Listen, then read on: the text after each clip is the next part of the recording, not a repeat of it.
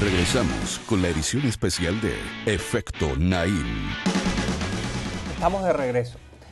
Dejamos el segmento anterior con un video que recuerda la llamada Primavera Árabe, con uno de los líderes de ese proceso, que de paso trabajaba para Google, explicando el papel de Twitter y Facebook en la revolución que sacude el Medio Oriente.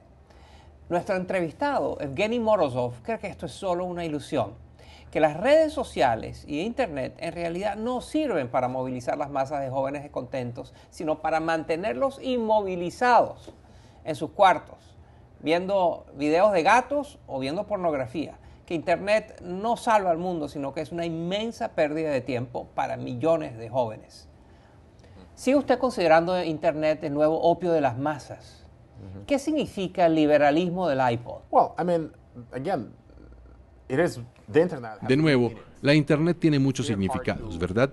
Es muy difícil escoger uno. Basándome en mi antecedente histórico en Bielorrusia, te puedo contar que hay dos historias muy diferentes entre lo que la gente hace con los medios y cómo la gente en Washington piensa sobre lo que otros hacen con el Internet. Por un lado encontrarás personas descargando películas y series de televisión, intercambiando mensajes, descargando pornografía el 85% de las veces. Y si miras lo que la gente en Washington piensa sobre lo que otros hacen en Bielorrusia o hasta en Irán, piensan que están todos ocupados bajando reportajes sobre abusos a los derechos humanos. O la página de Tiananmen Square en Wikipedia, una idea muy fetichista sobre el uso de la Internet. Desde esa perspectiva estoy firme en mi postura.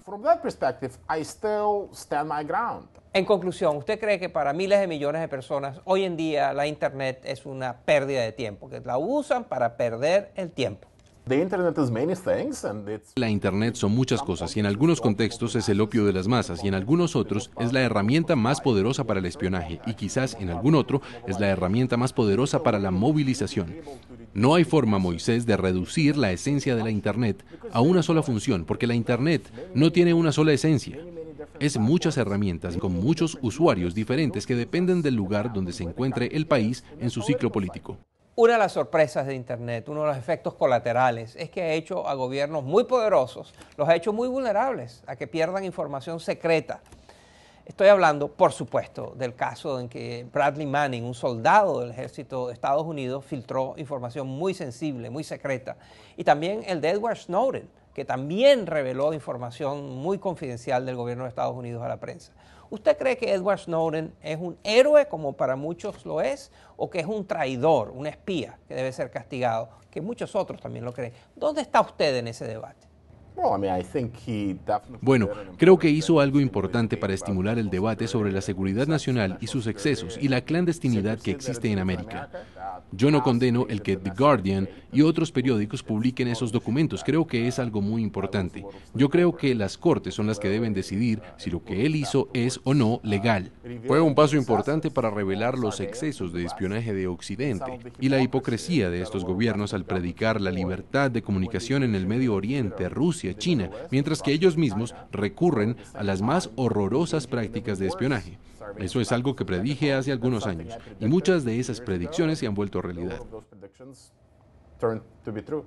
Y ahora quiero pasar del rol que tiene Internet en todas estas filtraciones de información a otro rol, la Internet como un instrumento para la educación, que también es muy controversial. Mire este video. En Camboya hay un pueblo que no tiene electricidad, ni televisión, ni teléfono, pero ahora tiene internet de banda ancha. Y la primera palabra en inglés de esos niños es Google, y solamente conocen Skype. Nunca han oído hablar de los teléfonos y cuando llegan a su casa por la noche tienen una conexión de banda ancha en una choza que no tiene electricidad y a sus padres les encanta porque cuando abren sus portátiles son la fuente más brillante de luz en toda la casa se mezclan las metáforas y la realidad. Si él quiere contratar helicópteros y lanzarles tabletas electrónicas a niños africanos, como ha hecho antes, está muy bien conmigo. Si él quiere usar dinero público, dinero del Banco Mundial para esto, me gustaría tener algún tipo de evidencia de que estos programas en realidad funcionan, porque hay formas alternativas por las cuales promover la educación. Hasta ahora, los estudios han revelado que el uso de One Laptop per Child, un computador por niño, en los países latinoamericanos, por ejemplo, no funciona. funciona muy poco y la efectividad no es la misma que el programa. Y si este es el caso, entonces creo que debemos confiar en la evidencia por encima de la retórica. Y creo que esta inhabilidad de pensar en términos de costo de oportunidad y solo aspirar a la fruta que cuelgue bajita y que se nos provee por medio de las aplicaciones, la tecnología, Silicon Valley y MIT es la característica más perniciosa del actual debate de políticas. Creo que uno va tras esas herramientas porque son sexy, no porque son efectivas.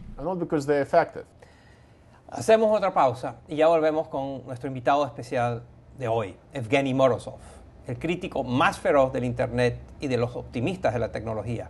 Un contrarrevolucionario muy particular. No se vayan.